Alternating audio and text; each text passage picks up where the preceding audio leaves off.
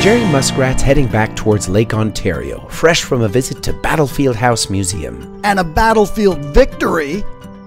It was a reenactment, Jerry. A steam room, just what a soldier needs to wind down. You're not a soldier, and this isn't a spa.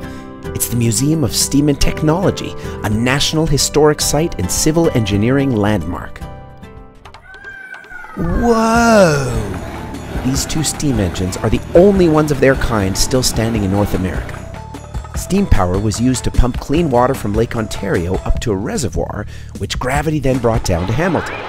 This pump house supplied water to the city for 51 years, from 1859 to 1910. Ready for some steam travel? All right! Back in the 1850s, Hamilton was at the heart of the Canadian Industrial Revolution, bursting with new factories, new jobs, and new people. But growth came at a cost. The city's water supply was contaminated with industrial, household, and human waste. Ugh, people, your waterways are not toilets. Yep.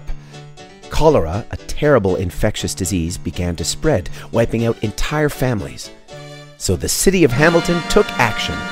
The new waterworks helped keep cholera from spreading, it helped keep fire from spreading, and it made for some pretty cool water features. Splendid fountain, old chap. How refreshing. Refreshing for the residents of the city, but not so much for the workers at the pump house where temperatures could reach 45 degrees Celsius.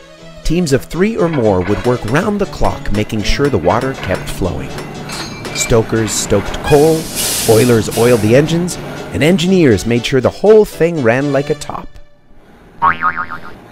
Dude, are you an engineer? Aye, James McFarlane's the name. Chief Engineer of the Hamilton Pump. I held this post from the day it was born to the day it was retired. Steam me up, Scotty. oh, I guess you don't know sci fi, eh, James? Of course I do. I read Jules Verne's 20,000 Leagues Under the Sea, inspired by the kind of revolutionary steam powered technology you find right here. Ooh, that reminds me. Captain Nemo sent me on a mission to find his lost pieces. I need to find something metallic. Jerry, everything here is metallic. So, James, uh, can you tell me about the pumps? Certainly. These are Woolf Compound rotative double acting engines made by John Gartshore's Iron and Brass Foundry right here in Dundas. They were chosen by Thomas Coltrin Keefer, who was the chief engineer while it was being built and designed the whole system. Coal stored in the woodshed is used to boil water and create steam in the boiler house, which is then directed into the cylinders in the engine house. It pushes the pistons up and down, making the walking beam go up and down, making the pump rod on the other end go up and down in the opposite direction.